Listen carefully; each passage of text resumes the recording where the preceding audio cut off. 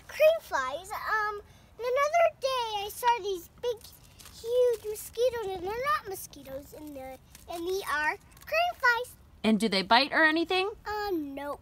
Nope. Not bite. They're just big, huge mosquito looking things called crane flies, and Yeah. they're also known as mosquito hawks. One day we saw, I found a worm, and then it, I put it on the pavement, and then he's like, We did, we saw him poop. yes, pee or poop. And these are my crane flies.